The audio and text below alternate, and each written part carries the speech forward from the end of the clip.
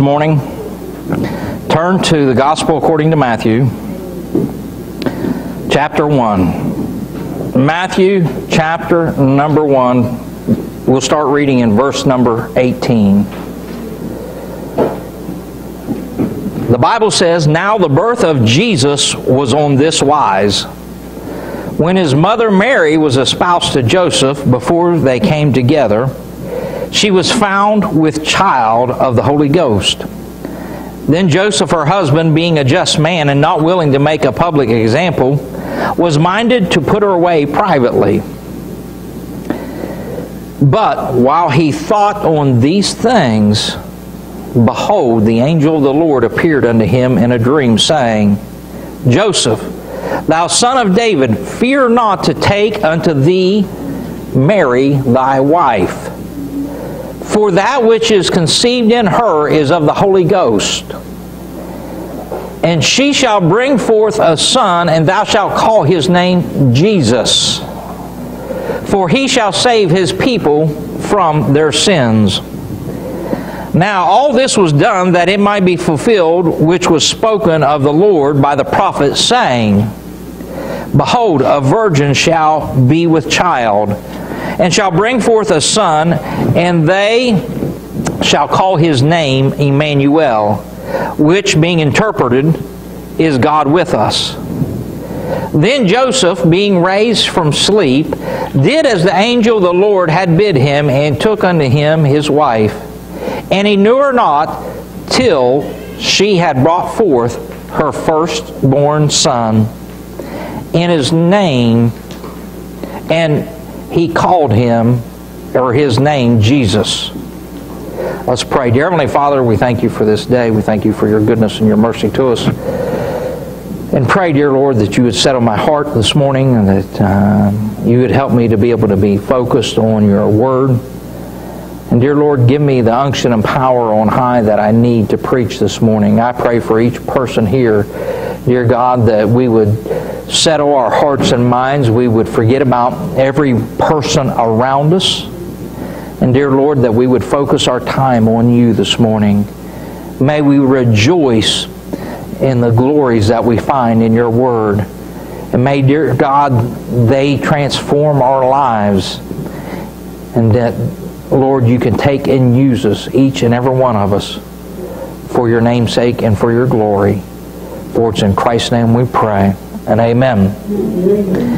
I, I, want to this morning revisit a message I, I preached four or five years ago that I entitled, He Shall Save His People from Their Sins. Now, Christmas, for the most part, has lost its innocency through worldliness, through commercialization, through uh, profit and everything that goes on. If people were actually celebrating the birth of our Lord, then churches would be full leading up to Christmas. But you know what? The stores are fuller than the churches are leading up to Christmas. Instead, most people are simply celebrating the Christmas as a worldly holiday.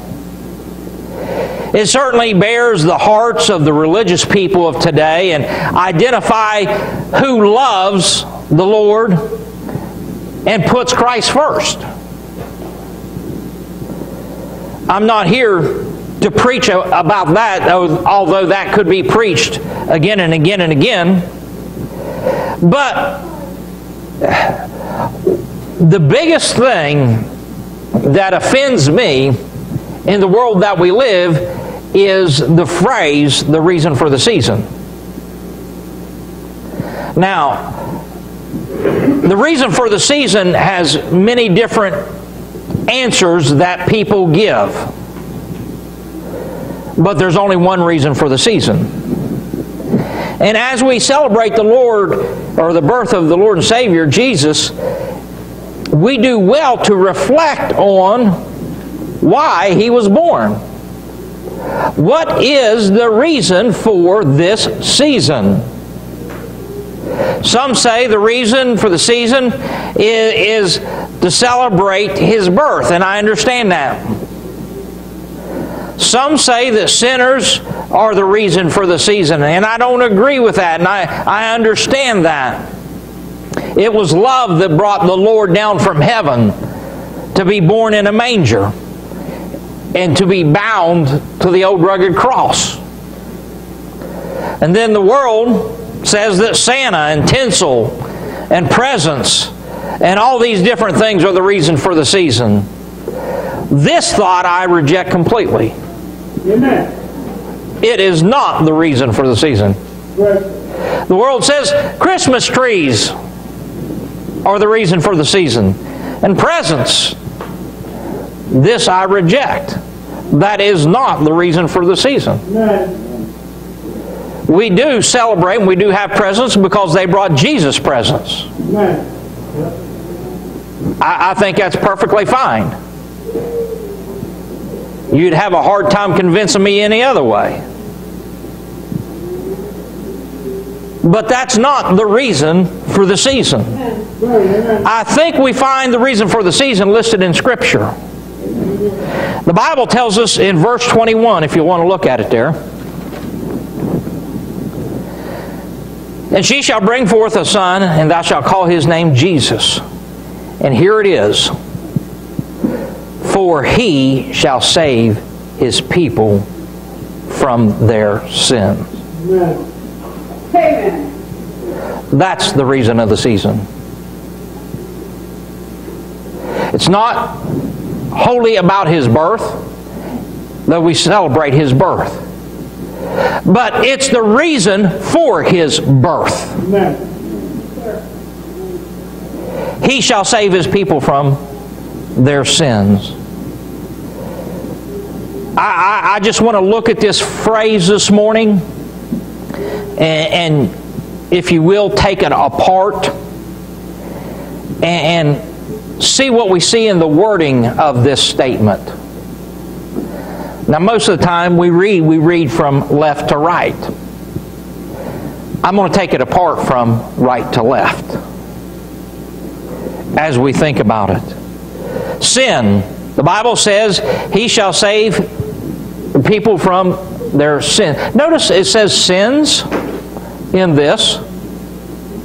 Now we know in Genesis 2 16 and 17, the Bible says, And the Lord God commanded man, saying, Of every tree of the garden thou mayest eat freely, or mayest freely eat. But of the tree of the knowledge of good and evil thou shalt not eat of it, for in the day that thou shalt eatest thereof, thou shalt surely die. God said, This is how sin comes into the world. It is disobeying God's command. That's what we see in the world today. We see it in churches. We see it in everything that is going on, everything that is said and done. It happens all the time. Satan tells us in, Genesis 3 and verse 4 Thou shalt surely, thou shalt not surely die. Listen, I, I, he's busy in this world telling lies. He tells lies to people all the time. Oh, don't listen to that guy. You, you can live how you want and get your prayers answered. That's the way we live our life. God's not going to chasten you. He's a God of love. God's not going to let you go to hell. He's a God of love. Listen, it's not God's choice, it's yours. Because the Bible says He's not willing that any should perish, but that all should come to repentance. But you know how God answered Satan? In verse or chapter number 5, I'm not going to look at each and every one of Genesis. If you go back and look at it, eight times in that passage, the Bible says, and he died.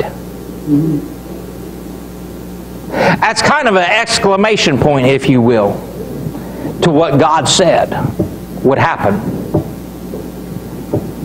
God didn't intend for anyone ever to die. But that happened.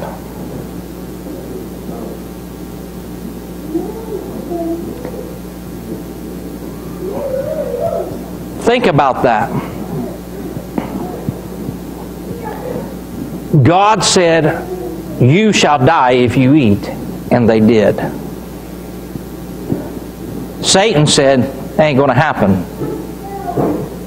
And it did happen. I want you to also consider, and I started to hit this a second ago, it says their sins. Not only does God just save, now normally when we talk about the penalty of sin, we talk about sin singular, right? Okay, sin singular is dealing with your sin nature and whether you go to heaven and hell.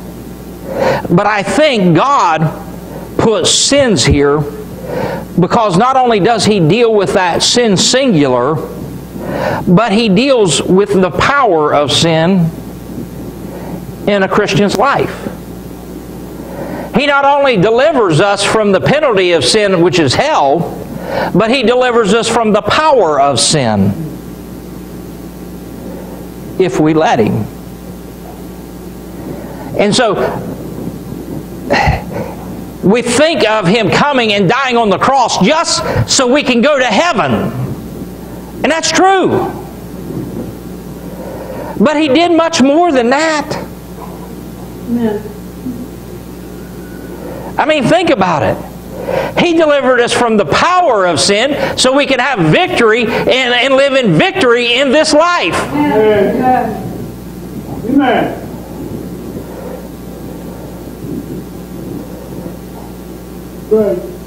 I mean, that's tremendous. Amen. Yep. Amen. I, I, in the Christian world, we have gotten so narrow minded about Christmas. And I'm not talking about the worldly aspect. I'm talking about the spiritual aspect. We think, yes, He came so we can go to heaven. But what about this life here you live now? Amen. Right, amen. Right. You're, you're talking about something in the distant future. Doesn't it affect you now? It should. Why? Because He died for your sins. Remember, when, when the New Testament, when it's dealing with sins, it's talking about how you live your life, the sins you commit after you're saved. He died for our sins, the power of sin. Then the, the word right in front of it, there. Oh, I praise God for this. Romans 5 11 says, Not only so, but we also joy in God through our Lord Jesus Christ, by whom, by whom we have now received atonement. Now, it's talking about, notice the, the pronouns used here, we. There's pluralness in this statement, in this world. You think about this. He was a propitiation not only for ours, but for the sins of the whole world. He's not willing that any should perish, but that all should come to repentance. Listen, he came, every person in this world, from the vilest, wickedest person, he came to save, and not only giving them a home in heaven, but to give them victory in life. Amen. There. You say, but I don't seem to be getting victory. What's your problem? Jesus gave you the victory. Right. Right. He's given you everything you need to have that victory. The problem is us. The problem is us. We've gotten so narrow minded in our thinking of heaven. We're thinking, and even if I say this, of the resurrection and thinking about Easter Sunday. We've gotten so narrow minded in our thinking as Christians that we look at it as a, a ticket to heaven when it's much more than that. Their sin. From. From Jeremiah says in chapter 7, 10 through 11, and come and stand before me in this house, which is called by my name, and say, We are delivered to do all these abominations. In this house, which is called by my name, become a den of robbers in your eyes. Behold, even I have seen it, saith the Lord. He didn't save us so we can go live like the world. He didn't come to die on the cross of Calvary and to pay our sin debt to go live like the heathen. He delivered us from our sin, not to sin. We've gotten so narrow minded in our, in our thinking of, of this thing. We, we think like, hey, I'm saved, I'm going to heaven, I can do and act and say what I want and be what I want and, and, and do the things I want. You missed it. The truth of the matter is, you probably missed salvation too.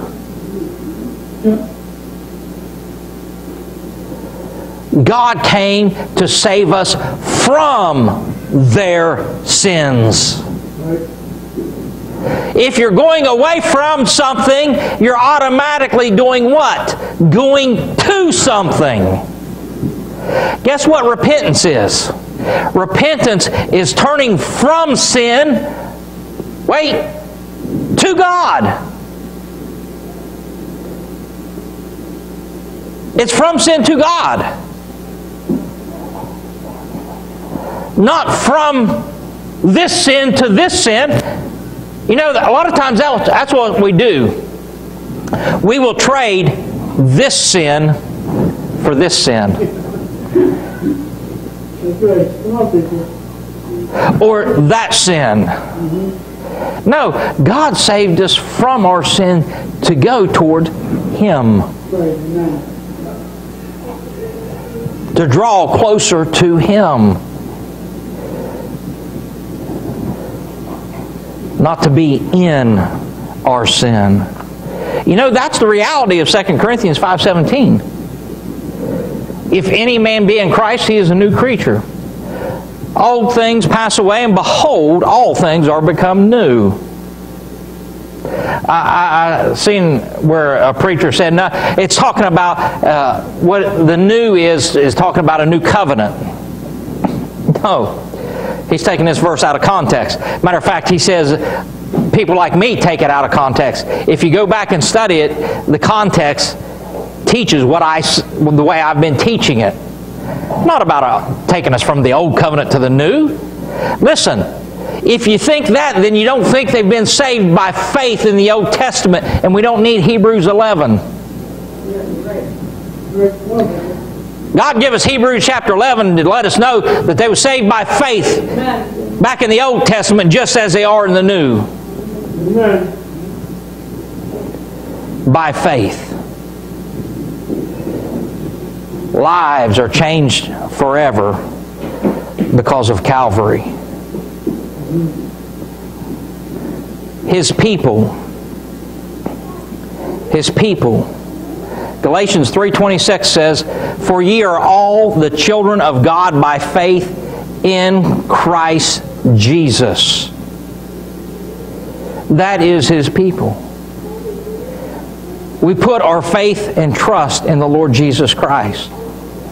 The Bible says in 1 John 2 1 and 2, My little children, these things write I unto you, that ye sin not. If any man sin, we have an advocate with the Father, Jesus Christ the righteous. And he is the propitiation for our sins, and not for ours only, but also for the sins of the whole world.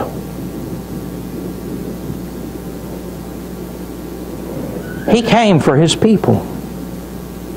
He knew there would be people who would trust him by faith. There would, he knew that there would be people who, who would follow him and love him. But they could not get there, get to heaven, without him. That sin penalty still had to be paid for. And he died on the cross of Calvary to pay that sin penalty. He came to live so he could pay that sin penalty. And we need him to pay that sin penalty. His people, next word, shall, or save, excuse me. Hebrews 7:25 says, "Wherefore he is able to save them to the uttermost that come unto God by him." Amen. Amen. Seeing he ever liveth to make intercession for them. He's able to save them to the uttermost. Uh, my preacher used to say, He saved me from the guttermost to the uttermost. That's what He did for us. He's able to lift us up out of the, the pit and the ditch of sin and the mire of sin and put our feet on a path to life everlasting. He's the only one that can do it. I, I know the world says pick yourself up by your bootstraps and do it. Yeah, you might do it for a little while, but you're going to fail, and you're going to fail miserably.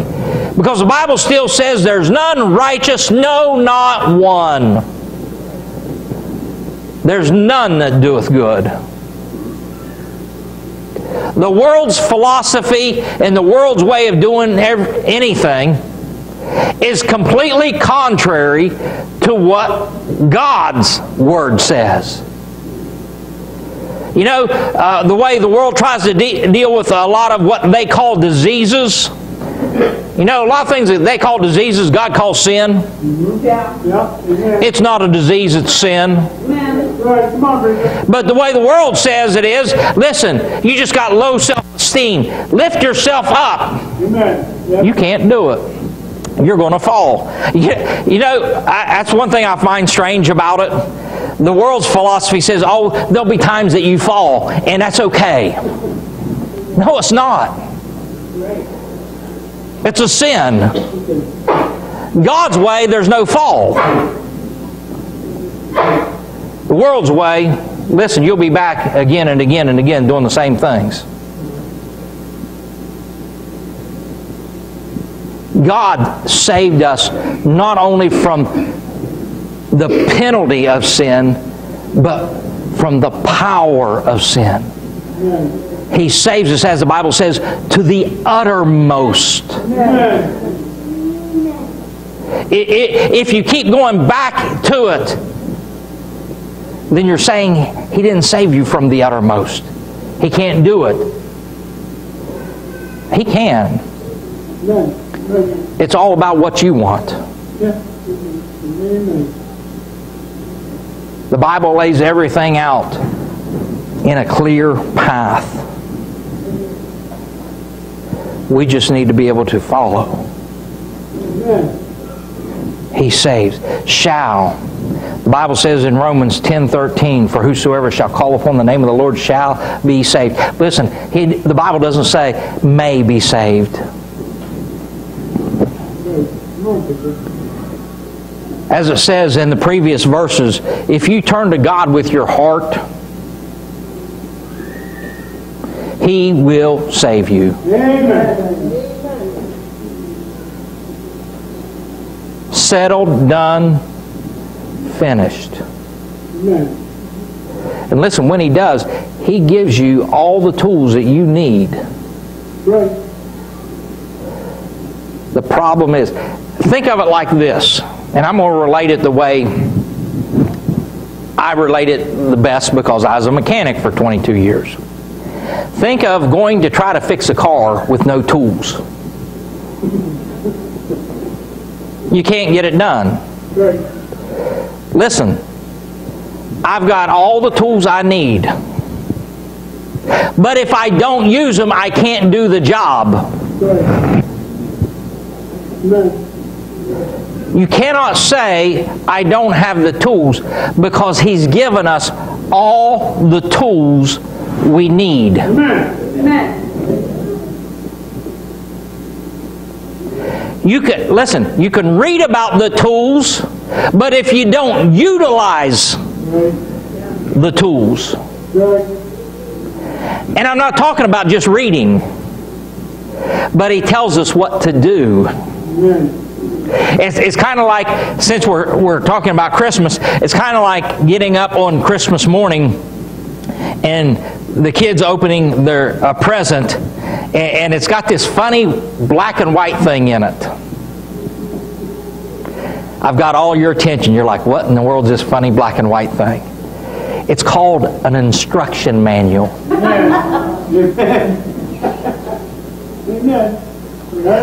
Where it says put A at B, hold it together with one, because they usually have a representation of a number for the list of screws and nuts and all this. And, put it together here and here. But, you know, hey, we don't need it. A couple hours later, honey, did you throw that paper away yet? Has the trash went out? I can't figure this thing out. Guess what? We have the instruction manual. It says, do this, don't do this. You know, the problem is sometimes we read the instruction manual and we reject it. Listen, I, have seen mechanics before. They get the paper and tell them how to do something. They have it there. They, I've seen them read it, then ignore it and mess a part up. A friend of mine on a Cummins diesel, when you put the piston assembly together, it, it, comes in several pieces. It's not like a car where the skirt and everything's made on it. They're two piece piston. And you read, and you need to make sure you put it together right because if you don't, you're going to have a noise in your motor. And this friend of mine, we had a, a, job of rebuilding a motor, and he was doing it. He put it together. He put the new sleeves in. I mean, it did a, a wonderful, clean, what should have been a great job. Except he failed to pay heed to the instructions on how, which direction to put the skirt on the piston. Right. Right. Fired it up. It had a little, what we call piston slap. You could hear a little knocking. Some people, if you don't know what you're listening to, you might think you got a rod knocking. Took it back. The company called back, said, Something's wrong with this motor. Listen, they just spent a lot of money to have that thing rebuilt. And here, one piston, he put the skirt on wrong. And guess what? That's not an easy fix.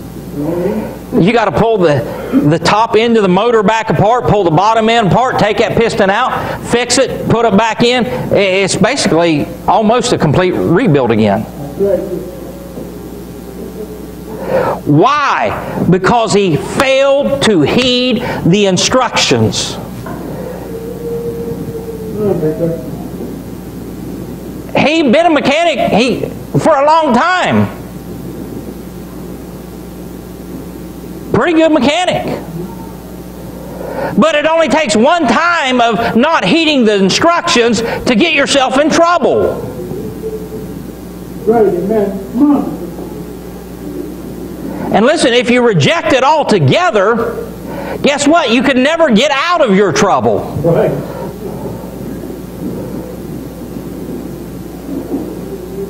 He said, I shall do this.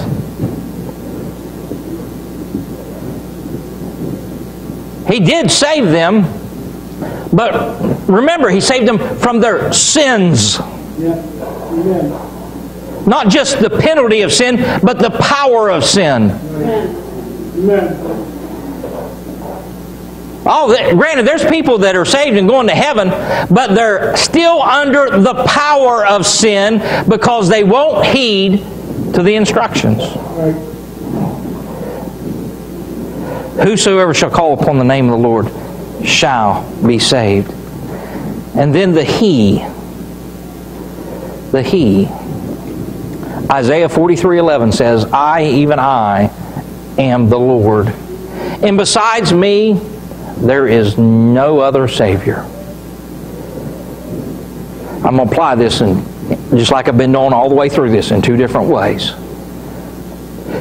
He is the one who will save you from the penalty of sin. The penalty of sin, of course, is hell. He saves you and gives you a home in heaven. But listen, He is the one who can deliver you from the power of sin. See, he, he didn't just come as a baby and, and was lived and died just so you can go to heaven. He came that you could have victory in this life. And this is the victory, Jesus Christ our Lord.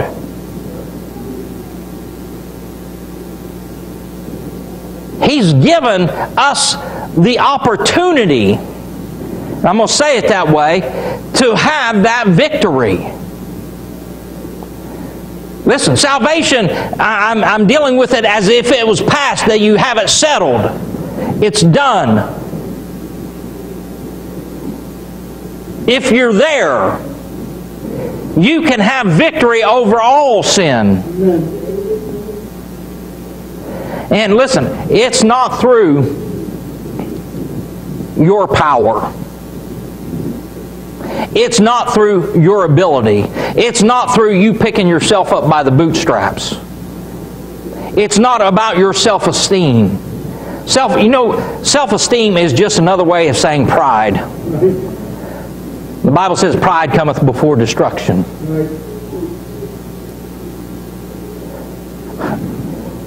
I just read if you if you're doing your Proverbs reading by the day than you read today.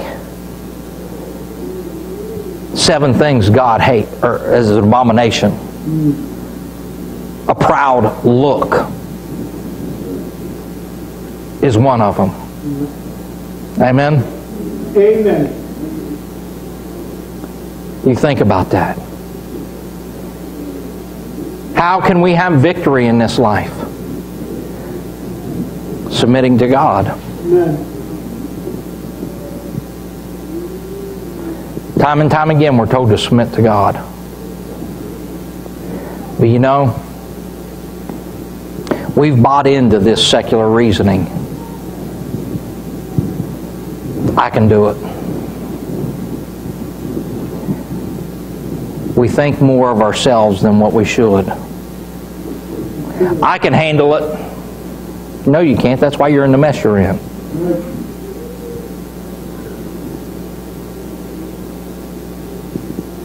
We need to submit to God. Amen. Let Him. I remember the phrase. I think it was at a. Um, they was using it at a VBS several years ago, and, and I, I may even preached a message on it. But it goes, "Let go and let God."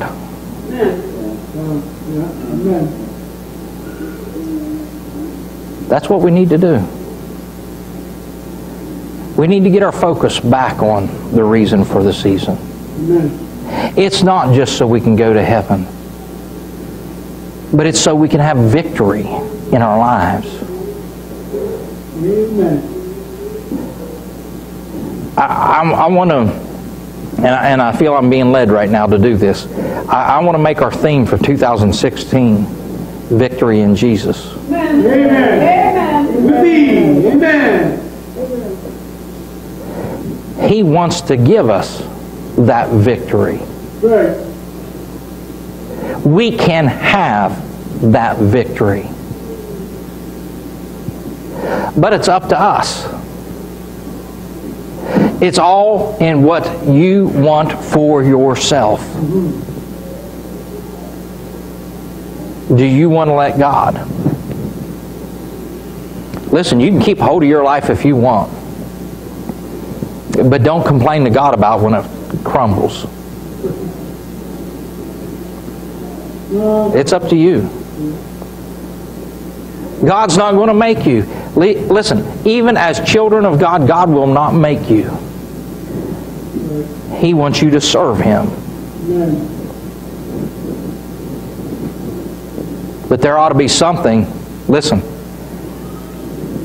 If you rebel against Him as a child of God, there ought to be something there telling you you're wrong.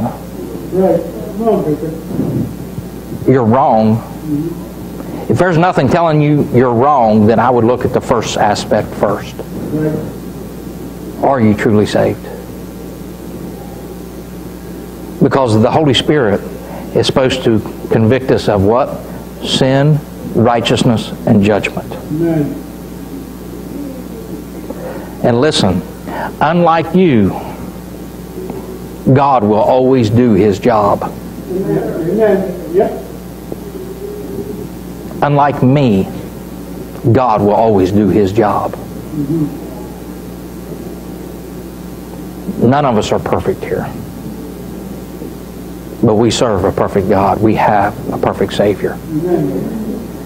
He came, was born, and lived and died so we might have that victory. Where are you at this morning? How have you been looking at the birth of Christ? Have you fallen into that trap of thinking it's just about going to heaven? He came to live so he could die so I can go to heaven. Oh no. Your God's little. God of the Bible did a whole lot more than just that. He came to die for your sins, to give you victory. Amen. Are you living in victory today? Do you know for sure if you died today, you'd go to heaven?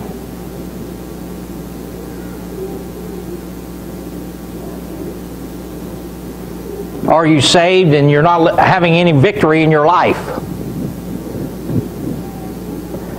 You just need to realize He gave you everything you need to have that victory in your life. Amen. But do you want it? I promise you this if the Holy Spirit is inside of you, He wants it.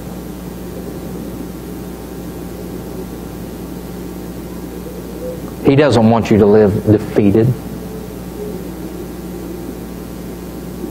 He don't want you to live, listen, He don't want you to live depressed.